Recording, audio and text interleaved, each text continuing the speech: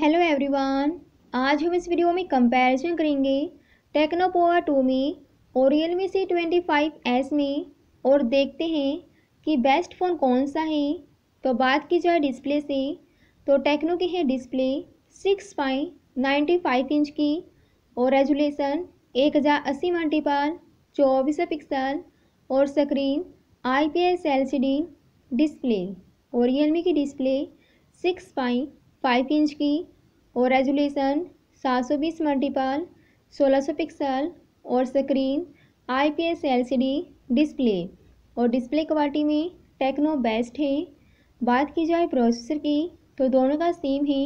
मीडीटेक का है जी eighty five का और दोनों का सी पी यू टू पेन जूरी का हार्ड ओक्टेकोर का। दोनों में ही ट्वेल्व एनएमीटर्स का पिन फैट और दोनों का है जी पी यू जी बावन का। बात करती हैं बैक कैमरे की तो टेक्नो का है क्वाड में, जो मेन कैमरा फोर्टी एट का और रियल मी का है ट्रिपल जो मेन कैमरा है तेरह का फ़ी टू का फ़ी टू का, और बैक कैमरे के मामले में टेक्नो बेस्ट है। बात करते हैं फ्रंट कैमरे की तो दोनों का सेम है एट मेसल का मिल जाता है।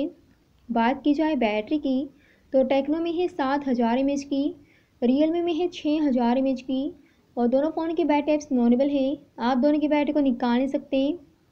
बात की जाए चार्जर की, दोनों में है एटीन वाट का, दोनों में टाइप्स का सपोर्ट है, दोनों में आपको फिंगरप्रिंट सेंसर और फेस लॉक में मिल जाता है। और दोनों ही फ़ोन में आपको ट्रिपल सी मिलती है। दोनों की है वारंटी एक साल की कनेक्टिविटी है थ्री जी और फोर जी की।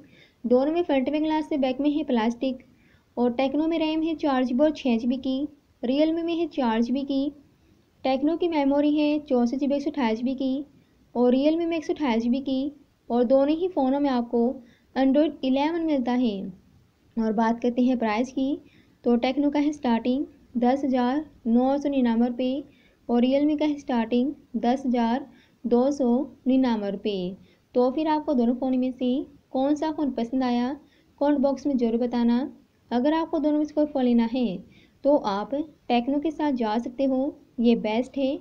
बाकी आपकी चॉइस है।